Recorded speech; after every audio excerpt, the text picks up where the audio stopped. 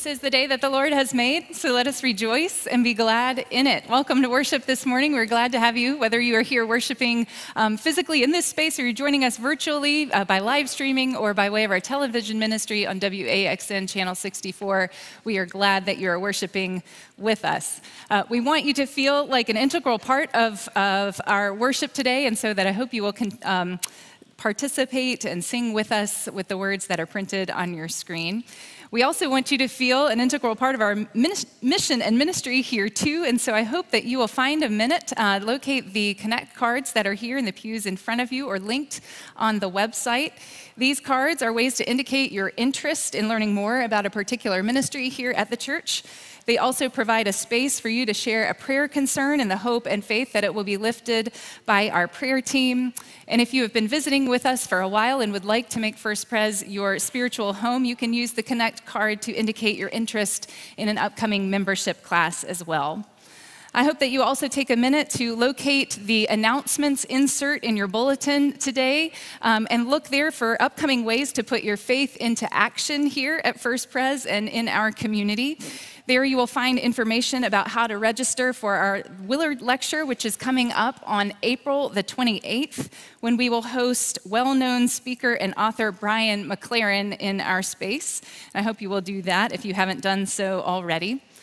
Finally, today we have the privilege and opportunity to thank our outgoing church business administrator, Wilfred Neal, following worship today. Wilfred has served faithfully here over the last few years, including seeing us through the construction project um, and helping us navigate the challenges of COVID. Um, he and his wife, Karen, are with us today. They're going to be outside after the service. And I hope that if you've been touched by Wilfred's ministry over the last couple of years, you will take the opportunity to stop and greet him and to thank him for it. And now, with all that we are and with all that we have, let us come before God in worship.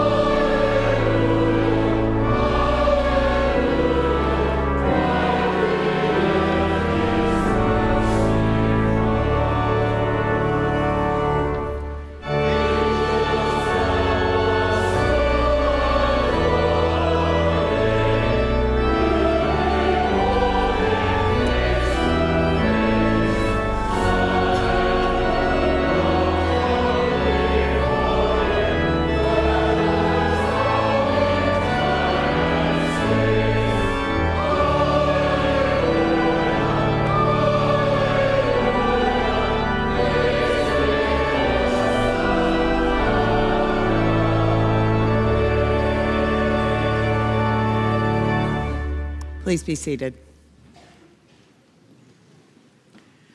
We know that all have sinned and fall short of the glory of God, and we come before God aware of our sinful nature.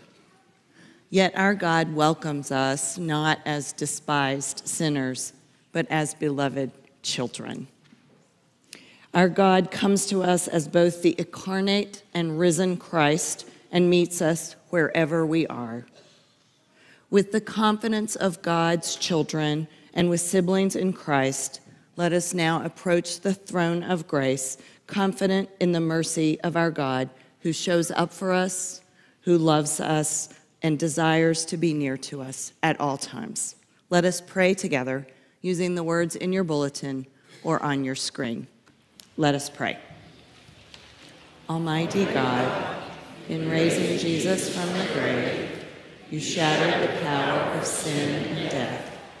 We confess that we remain captive to doubt and fear, bound by the ways that lead to death. We overlook the poor and the hungry and pass by those who mourn. We are deaf to the cries of the oppressed and indifferent to calls for peace. We despise the weak and neglect the earth you made. God of mercy, forgive us. Help us to trust your power to change our lives and make us new, that we may know the joy of life abundant, given in Jesus Christ, the resurrected the resurrected Christ appeared to his beloved and told them that the forgiveness of sins shall be proclaimed in his name to all the nations, declaring that the mercies of our Lord are from everlasting to everlasting and extend to all creation. Friends, believe the good news. In Jesus Christ, we are forgiven.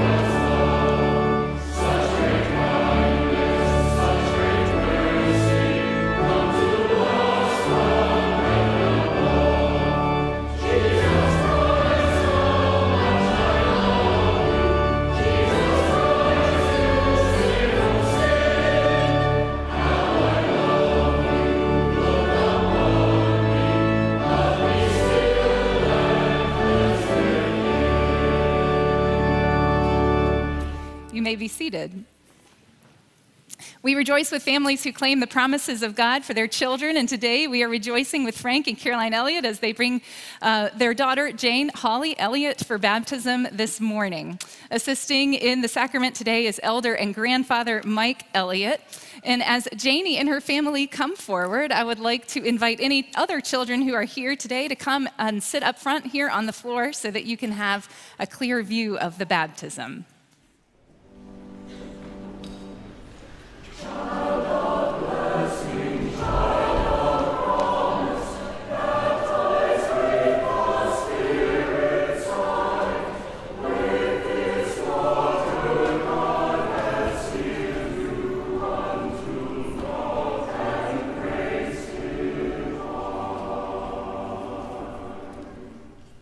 Good morning.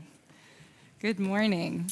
Uh, we gather around this font today to witness to and to celebrate Janie's inclusion in God's holy story. For you, little one, the Spirit of God moved over the waters at creation, and the Lord God made covenants with God's people. It was for you that the Word of God became flesh and lived among us, full of grace and truth. For you, Janie, Jesus Christ suffered death, crying out at the end, It is finished. For you, Christ triumphed over death rose in newness of life, and ascended to rule over all. All of this was done for you, little one, though you do not know any of this yet. But we will continue to tell you this good news until it becomes your own. And so the promise of the gospel is fulfilled in us. We love because God first loved us. On behalf of the session, I introduce Jane Holly Elliott for baptism. Caroline and Frank, we come here today resting on God's gospel promises, and these promises come with an invitation to make promises of your own to your child. And so I ask you to affirm your faith today as you answer these questions Who is your Lord and Savior? Jesus Christ. Do you trust in him? Do you? We do. Do you desire this, your child, to be his disciple, to know his word, and to walk in his way? Do you? We do. And do you entrust Janie to God? Do you promise in humble reliance upon the grace of, grace of God that you will set before her a Christian example? That you will pray with and for her? That you will teach her to follow the ways of Christ so that she one day may claim that faith as her own? Do you? We do. Our Lord Jesus Christ ordered us to teach those who are baptized. Do you, the people of the church, promise to tell this new disciple the good news of the gospel, to help her know all that Christ commands? And by your fellowship to strengthen her family ties with the household of God. Do you? We do. As a sign of that promise, let us stand together now and affirm our faith using the words of the Apostles' Creed. What is it that we believe? I believe in God the Father Almighty, maker of heaven and earth, and in Jesus Christ, his only Son, our Lord, who was conceived by the Holy Ghost, born of the Virgin Mary suffered under Pontius Pilate, was crucified, dead, and buried. He descended into hell. The third day he rose again from the dead. He ascended into heaven and sitteth on the right hand of God the Father Almighty. From thence he shall come to judge the quick and the dead. I believe in the Holy Ghost, the Holy Catholic Church, the communion of saints, the forgiveness of sins, the resurrection of the body, and life everlasting. Amen. You may be seated.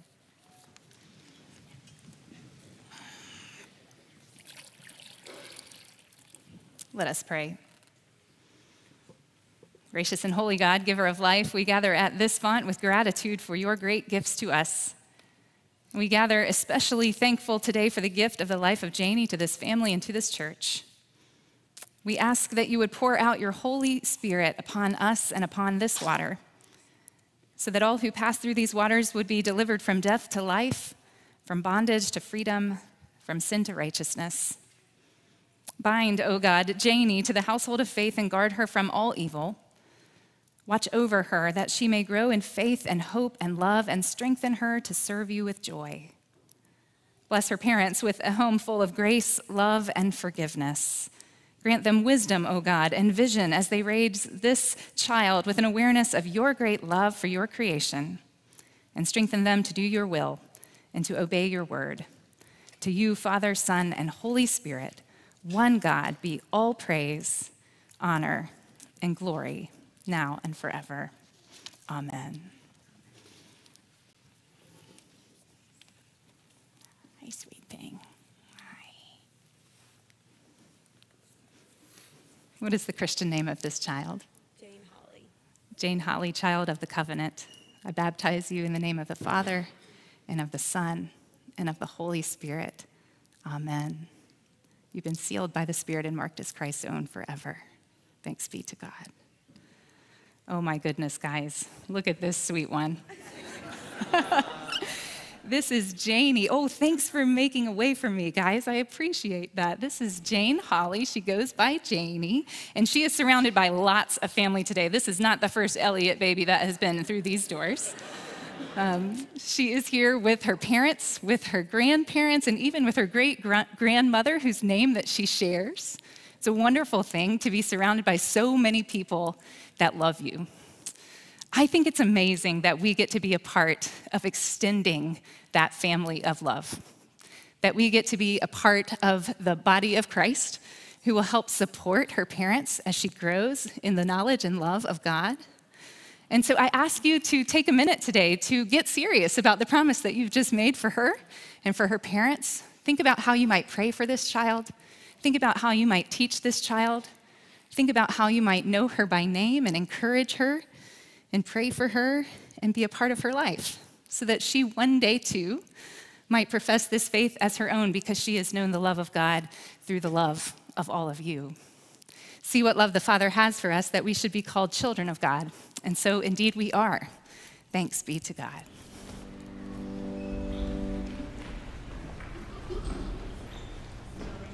First Church.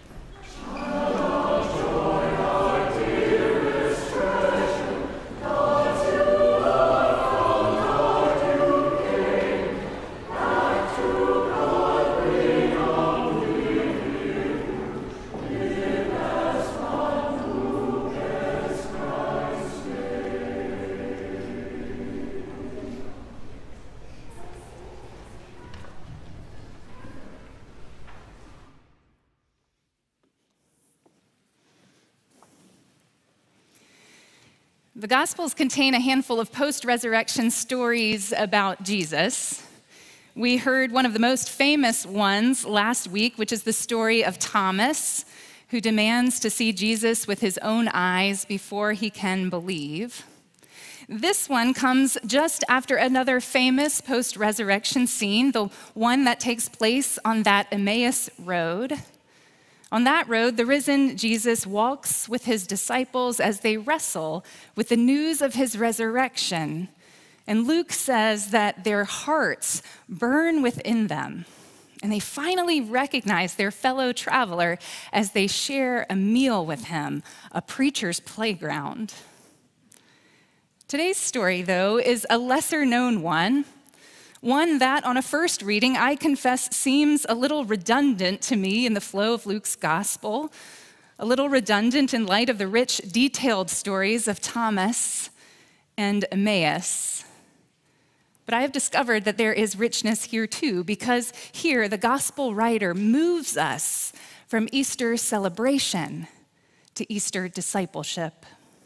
As we prepare to hear it, let us pray. Gracious God, we do not live by bread alone, but by every word that comes from your mouth. Make us hungry for this heavenly food, that it may nourish us today in the ways of eternal life. Through Jesus Christ, the bread of heaven. Amen. Listen with me now for the word of the Lord as it comes to us from Luke chapter 24, verses 36 through 48. While they were talking about this, Jesus himself stood among them and said, Peace be with you. They were startled and terrified and thought that they were seeing a ghost. He said to them, Why are you frightened? And why do doubts arise in your hearts? Look at my hands and my feet. See that it is I myself. Touch me and see, for a ghost does not have flesh and bones as you see that I have. And when he had said this, he showed them his hands and his feet. Yet for all their joy, they were still disbelieving and wondering. And he said to them, Have you anything here to eat? They gave him a piece of broiled fish, and he took it and ate it in their presence. Then he said to them, These are my words that I spoke to you while I was still with you, that everything written about me in the law of Moses, the prophets, and the Psalms must be fulfilled. Then he opened their minds to understand the scriptures. And he said to them, Thus it is written that the Messiah is to suffer and to rise from the dead on the third day and that repentance and forgiveness of sins is to be proclaimed in his name to all nations, beginning from Jerusalem. You are witnesses to these things. Here ends our reading. This is the word of the Lord. Thanks be to God.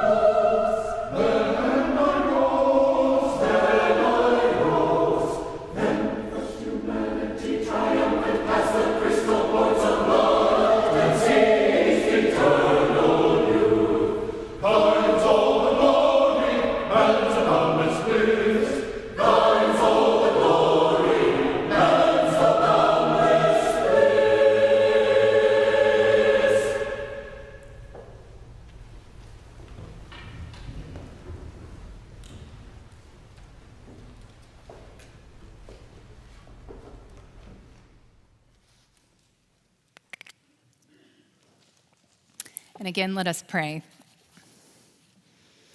May the words of my mouth and the meditations of all of our hearts be acceptable in your sight, O Lord, our rock and our Redeemer. Amen. When I was a first year seminary student, I found myself in the pews of the campus chapel for a service during Easter tide. Easter is a season the preacher got up to greet us in a way that I don't think I had ever heard before that moment, but have heard many times since, including just a few weeks ago in this very sanctuary on Easter Sunday. He got into the pulpit, he shuffled his papers, and after a long pause, he looked at us and he said, He is risen.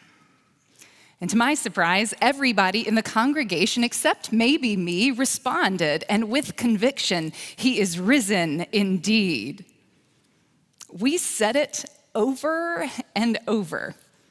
Anytime the preacher said, He is risen, everyone else in the room, and eventually I did catch on, responded with, He is risen indeed. And the service would move on from there. I left that day wondering what the word indeed meant to us. Situated there in a seminary community, I wondered were we simply agreeing to a theological idea or sharing a belief we'd arrived at through study and thought? Or were we simply enacting a rote liturgy, saying what was expected of us and on time? Or was it deeper than that? What, I wonder, did it mean for us to say, and with such conviction, that he is risen indeed?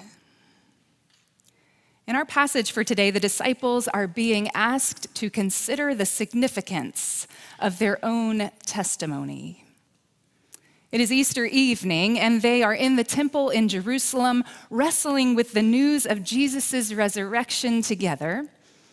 When all of a sudden, he comes and stands among them, and he presents his body. He shows them his hands, the same hands that had touched those deemed unclean and had healed someone's sight with spit and mud. The same hands that had taken bread and broken it and given it to them. And then he showed them his feet, the same ones that had carried him through Galilee, the very ones that Mary of Bethany had anointed with that whole bottle of perfume. Remember that? And dried with her hair. the ones that had carried him ultimately to the cross. These hands and feet, they are familiar and they are wounded, bearing the signs of that which he had endured. And he stretches them out to show his disciples.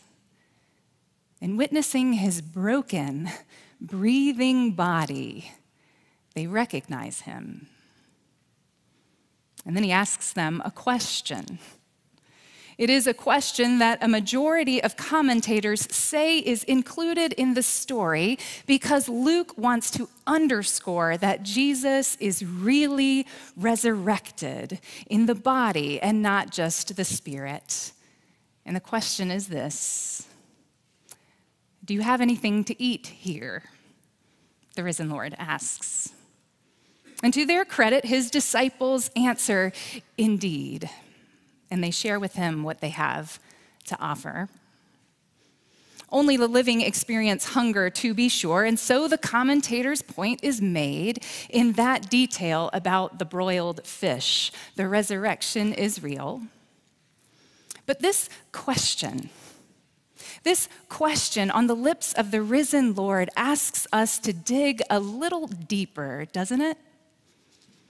It is a question that acknowledges the persistence of human need, even as the good news is proclaimed. It's a now and not yet kind of question that invites us to consider how we might live right now in the face of that need, even as we place our hope in the reality of the resurrection. It is a question, in other words, that asks for a response not just in words, but in action, in our living, and in our giving. The risen Jesus does not stand among us, my friends, to be marveled at, but to issue a call in the form of a question Do you have anything to eat here? He asks. The great preacher Fred Craddock tells the story of participating in a conference on hunger at Clemson University some years ago, and this is how he tells it. A Catholic priest and I shared the platform. The evening before I gave my lecture, a young woman began the program with a devotional. I didn't know her. She was a young woman, I would say in her mid 20s. She had pale, blonde, straight hair. She was thin. She wore no makeup and had a soft voice. When she got up to give the devotional, she had a yellow legal pad with her, and I thought, well, we are here for the night. Everyone has one sermon. Her voice was low, but I am sure she was speaking another language. And she spoke in another language, and then in another, and then in yet another language. I do not know how many languages, the preacher continues. I did not keep count. But what she was doing was saying one thing in the major languages of the world. When she got to German, I thought I knew what she said. When she got to French, I was even more confident that I knew what she said. I suppose she said this one thing 60 or 70 times in 60 or 70 languages. It was one sentence. And the last time she spoke it, she spoke it in English. She said, Mommy, I'm hungry. And then she sat down. I thought about what she said all the way home that night, Craddock writes. There is something poignant to me about the fact that the risen Jesus hungers. Because in his hunger, he carries the hunger of all of God's children the world over and asks if we've got anything to share.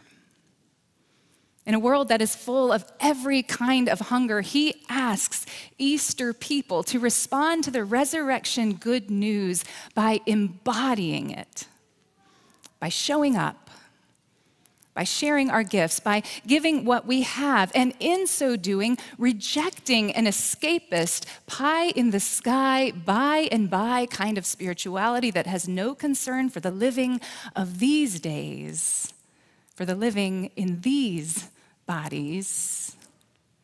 By letting our very living here and now proclaim what we believe is ultimately true, and that changes everything that He is risen he is risen indeed. I cannot think about what it me- might mean for us to embody our faith without thinking about two saints of First Presbyterian Church in Raleigh, one who was healthy, the other who was dying. They agreed on precisely nothing not theologically, not politically, not even practically. Both on the session at the time, they routinely canceled out each other's votes. You could count on that walking into every meeting. And one of them needed a kidney. He was surprised one night to receive a call from the other who offered to get tested to see if he was a match, which he was. The local paper ran the story of their surgeries with a picture of the two of them in side by side wheelchairs, donning hospital gowns and giant grins. And at the center of that picture, you can see their hands. They're clasped together with conviction and with joy. And I'll never forget what the donor said to me when I asked him why he did what he did. We've been in the same Sunday school class for over a decade, he told me. And the guy drives me crazy. But I guess this was God's way of asking me to stop being so darn theoretical about everything and to try to live as if it were all true. And all I could say in the face of that incredible, embodied witness was, indeed. Such an embodiment of the faith happens all the time in big ways like that and in small, but all profound. When I was serving as a hospital chaplain in a New Jersey ICU, I made a daily morning visit to a patient's husband for about a week or so. I didn't plan it this way, but I happened to be there about the same time every morning. And every morning that week, a woman would sort of peek her head behind the curtain and set down a cup of hot coffee for him and then duck back out. She never came in, and so I just assumed that she was another family member who wasn't all that interested in talking to the hospital chaplain. So finally, I asked him who she was. And to my surprise, he said, Oh, actually, I have no idea. she's here with someone a few rooms over, but she's been doing this for a few weeks now. And I have to say that every day, this is what he really said this cup of coffee feels truly life saving to me. Indeed. Indeed, living happens all the time around here, too, in this body of Christ. I saw it clearly at a recent memorial service as members of our funeral guild opened doors and poured cold water and passed out bulletins and hugged the grieving and pointed people to where they needed to go, hands and feet. I see it every time someone comes to drop a meal off in a cooler that's sitting just outside our kitchen for a family that is going through a major life transition. I see it every time our pantry's shelves are being stocked by the same familiar hands. And every time I visit a member, only to spot a stack of cards full of notes of encouragement and prayers for healing that are scribbled in your script. All of that has happened in the last six months, and I could go on. In all these ways and so many more, you have been and continue to be the hands and feet of Christ right here in the heart of Charlotte. You're witnessing in ways big and small, but all profound to resurrection hope here and now, proclaiming in your living that the risen Christ walks among us and doesn't shy away from our hunger, but transforms it by asking us not to shy away from it either. This is a different kind of Easter message, isn't it? One that moves us beyond the fanfare of Easter morning with its brass and its lilies and flowered crosses and coordinated outfits. Thank you, moms out there. Moves us from the celebration of resurrection to the practice of it. Verse 41 says that Jesus shows up into the disciples' Easter joy in a hungry body and helps orient them to this new reality called resurrection as he anticipates his ascension. Notice that Jesus doesn't speak from a place of impatience at the disciples' slowness to understand it. Maybe he's not even asking them to understand it at all, but simply to live as if it is true. Writing in the 16th century, St. Teresa of Avila echoes the risen Christ's call this way Christ has no body but yours, she says. No hands, no feet on earth but yours. Yours are the eyes with which he looks compassion on this world. Yours are the feet with which he walks to do good. Yours are the hands with which he blesses all the world. Yours are the hands. Yours are the feet. Yours are the eyes. You are his body. Christ has no body now but yours. No hands, no feet on earth but yours. Yours are the eyes with which he looks compassion on this world. Christ has no body now on earth but yours. My friends, we are the body of Christ, and we proclaim a risen Lord. Not just in some far off heavenly future, but here and now and the question, I think, that is before us today is what we will do with our Easter joy in a world where children still say in every language, Mommy, I'm hungry. In a world where so many children of God hunger for the basic things that make for human flourishing, while others have more than enough. The question before us today is how we will embody our Easter joy in a world where so many hearts hunger for friendship, for forgiveness, for encouragement, for a second chance, for hope that is tangible. The question before us is whether or not we will practice resurrection whether we will see in every hand that needs holding, every step that needs steadying, every stomach that needs a meal, every voice that needs an ear, the opportunity to encounter the risen Lord in the needs of our neighbors, and to let our lives do the preaching with whatever gifts we have been given to the glory of God. May it be so in us indeed. Amen.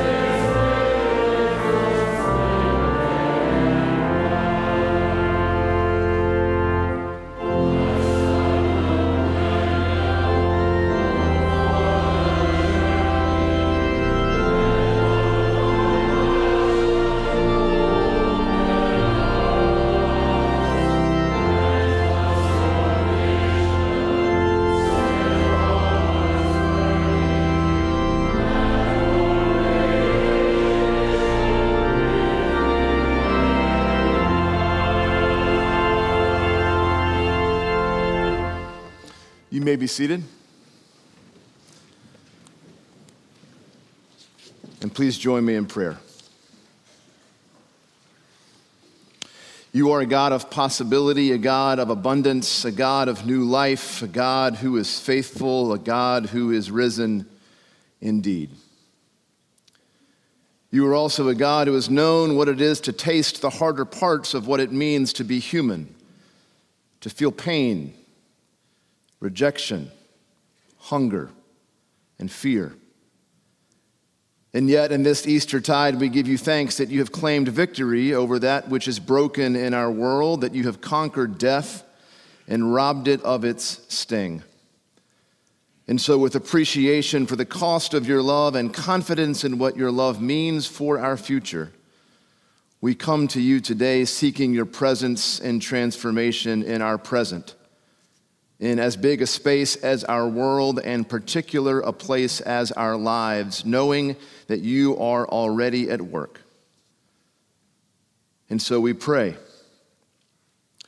We pray for peace in a world gone mad with war.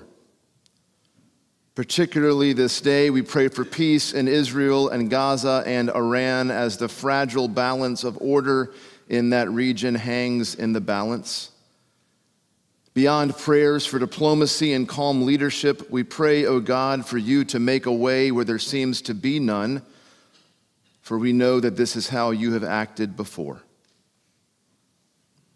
We pray for our country riddled with partisan rancor Particularly this day, we pray that the election season, which has already ramped up, can take place against a backdrop of citizenship and commonwealth rather than being defined as an existential choice between polar opposite visions for our future.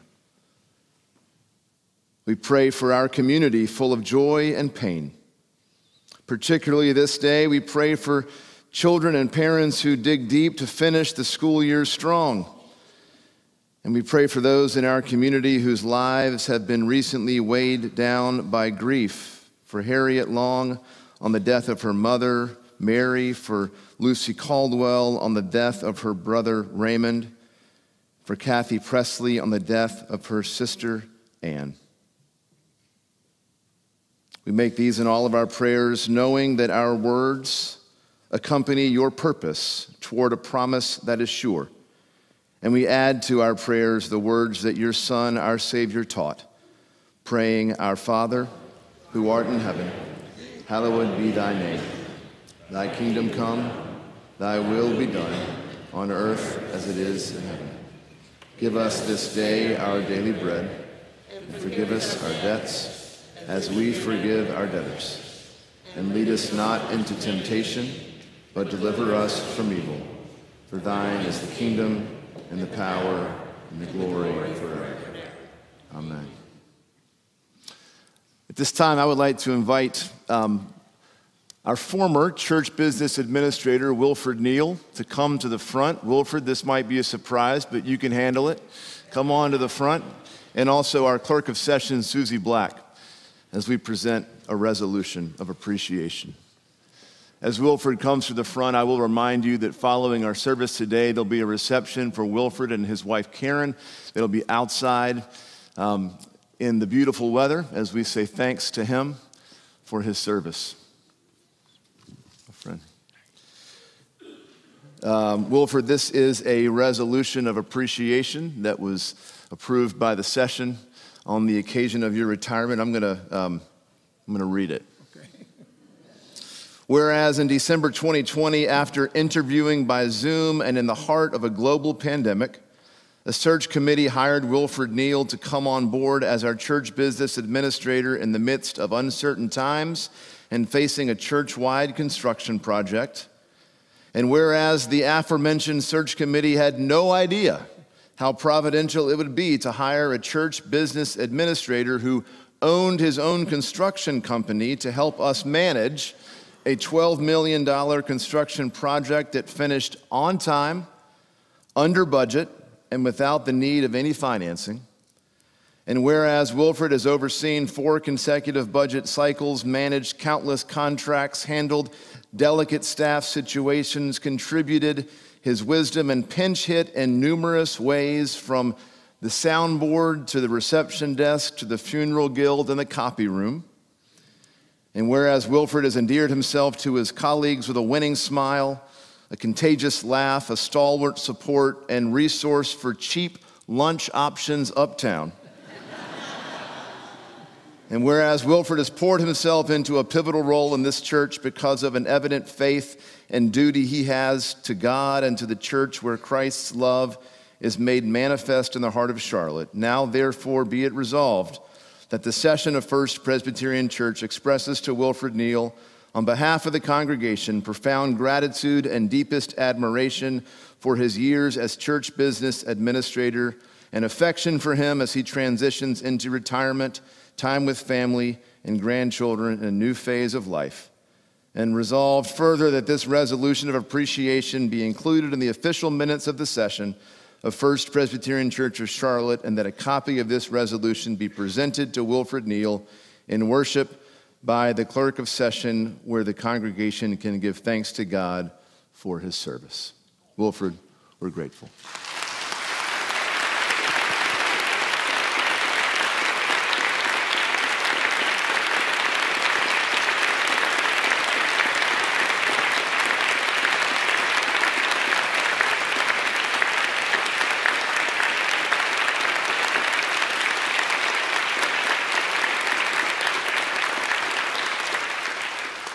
See you outside. Thank you.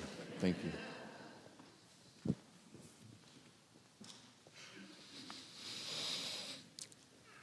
Anna mentioned in her sermon that the resurrected Christ shows up hungry.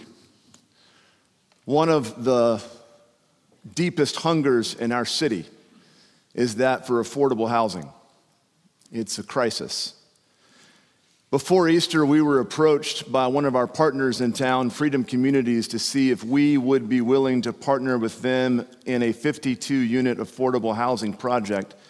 When we got that invitation, we decided that we would challenge you as a congregation to give on Easter Sunday that entirety of the offering to support this project. We recruited some members to put up $100,000 to match what we hoped you all would give on Easter Sunday. So, our goal for you on Easter Sunday was $100,000, and I am thrilled and grateful to share today that, in fact, you did not give $100,000. You gave $164,451, which means that we are contributing $264,451 to support a hunger in our community. So, thanks be to God for you. And thanks be to God for our ability to be Christ's hands and feet in the world. Amen. And now, with all that we have and all that we are, let us continue to respond to God with our tithes and our offerings.